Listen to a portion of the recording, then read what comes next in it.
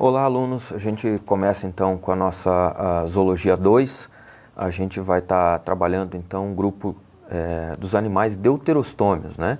A gente vai dar uma olhada então quem são esses animais deuterostômios e no que eles uh, se vão se diversificando, né? Então, se vocês forem lembrar, uh, a gente tinha aí uh, dois grandes grupos de animais bilaterais, um grupo de animais protostômios, foram vistos na zoologia 1, e agora na zoologia 2 nós vamos estar trabalhando com os animais deuterostômios, que incluem aí ah, os equinodermas, né? então as ah, estrelas do mar, ouriços do mar, pepinos do mar, ah, também um grupo pouco conhecido ah, chamado de hemicordata e o grupo chamado de cordata, entre o qual, ah, dentro do qual estamos ah, nós animais vertebrados aí.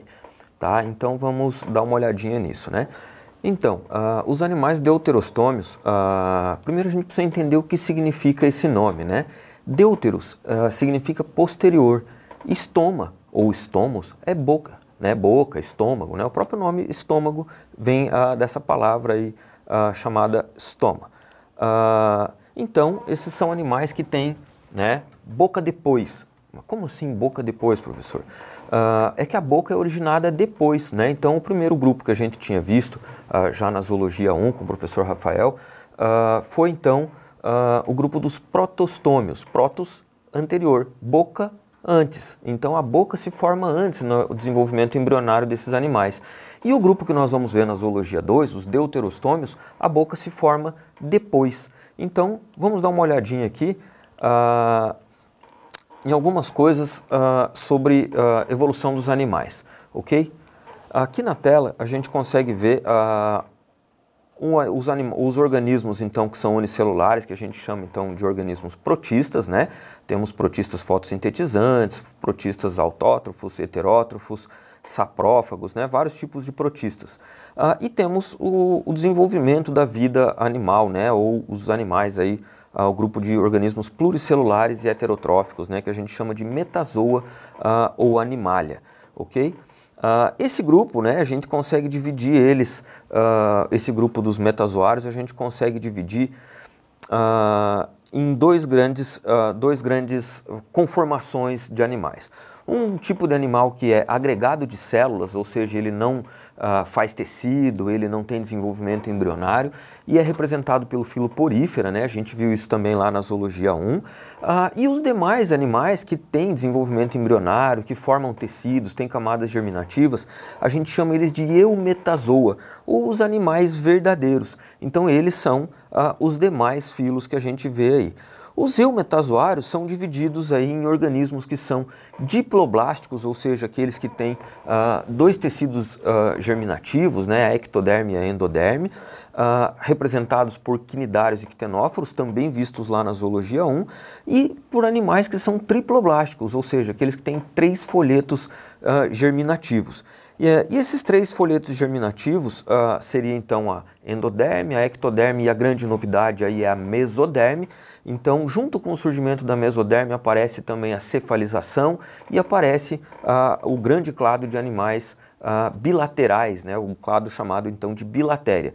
Tudo isso foi visto na zoologia 1, nós estamos recapitulando agora. Uh, e os bilaterais, por sua vez, e agora que vem o nosso assunto de interesse da zoologia 2, os animais bilaterais são divididos em dois grandes grupos: os protostômios, ou taxon protostômia, e os deuterostômios, que são aqueles que nos interessam agora. Qual que é a diferença, professor, de protostômio e uh, deuterostômios? Então, é aquela história do desenvolvimento da boca. A principal diferença é o desenvolvimento da boca, mas tem outras também que a gente já vai ver.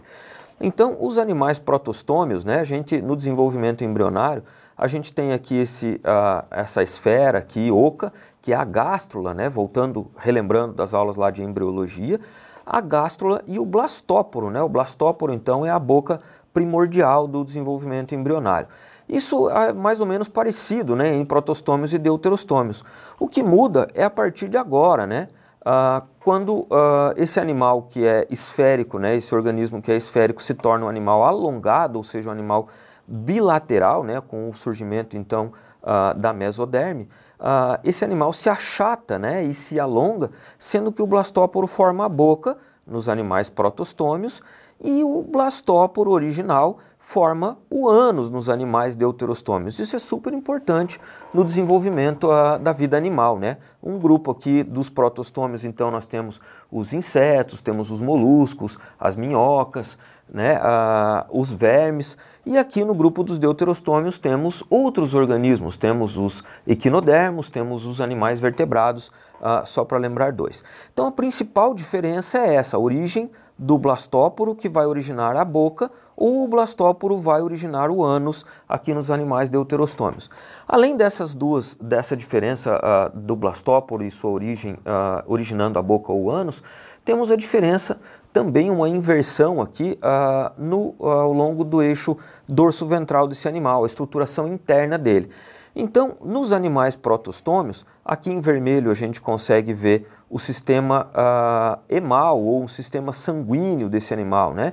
Aqui na região posterior dele nós teríamos um coração, isso acontece com as minhocas, acontece com os artrópodos, acontece né, com os anelídeos, os artrópodos, acontece aí com outros organismos protostômios, aqueles, claro, que têm uh, sistema circulatório.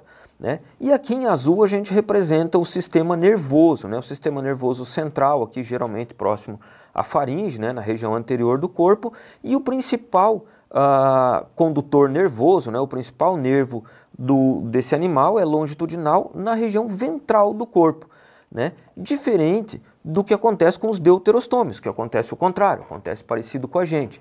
Então o coração fica numa posição ventral, o principal vaso sanguíneo também está numa posição ventral uh, em relação ao sistema nervoso. O sistema nervoso, então, nós temos uh, um gânglio ou um cérebro na porção anterior e o principal, uh, o principal nervo, né, o condutor nervoso, fica na posição dorsal dos animais deuterostômios.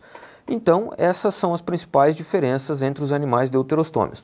Além disso, temos a diferença também quanto ao surgimento da mesoderme e também quanto ao surgimento do celoma nesses animais. Uma outra diferença entre animais uh, protostômios e deuterostômios tem em relação, está em relação ao desenvolvimento da mesoderme e também a formação do celoma, né, a cavidade do corpo desses animais. Em animais protos, observando aqui geral, mais uma vez uma gástrula, nós temos uma gástrula aqui. Uh, mais uma vez, então, aqui em amarelo, esverdeado, nós temos uh, a ectoderme. Aqui em roxinho eu tenho a endoderme, então a camada interior. E o surgimento da mesoderme agora em azul. Né? São células que migram da porção roxinha aqui, migram da da endoderme e se transformam em células que vão estar entre a ecto a, e a endo, formando então o que a gente chama de mesoderme. Já nos animais deuterostômios, o que acontece é uma invaginação do intestino primitivo, né, ou da endoderme aqui, formando já uma estrutura com uma cavidade aqui, então uh, formando em azul o que a gente também chama de mesoderme. Voltando aos animais protostômios, essas poucas células que migram aqui, elas vão aumentar em número e vão ocupar toda a região entre a endo e a ectoderme, né, aqui representado em azul, e o celoma vai ser ah, uma cavitação, ou seja, a, criação de um vazio aqui nessa região azul, né, na região, região da mesoderme. Enquanto nos animais deuterostômios, a mesoderme já aparece com uma cavidade e essa cavidade vai crescendo né, até ficar, uh, chegar a um resultado relativamente parecido né, da mesoderme e os celomas.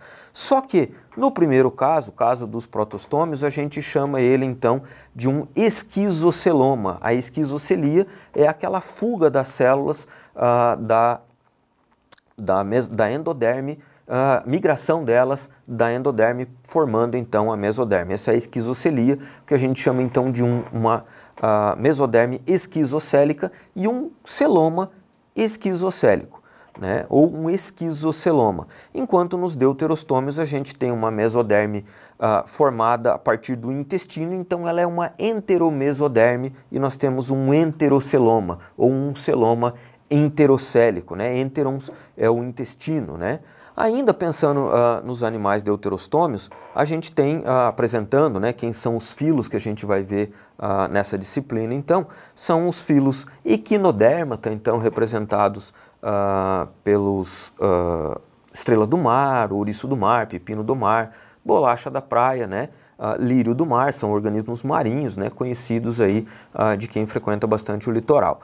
Né? Um outro filo conhecido que a gente vai estar estudando é o filo hemicordata. É um filo menor, com poucas espécies, uh, e que já foi bastante relacionado, inclusive já foi um dos subfilos uh, do filo cordata. Né? Então, o terceiro filo que nós vamos estar vendo é o filo cordata, uh, do qual, então, um dos subfilos é o grupo dos vertebrata, que, que, do qual nós fazemos parte, então.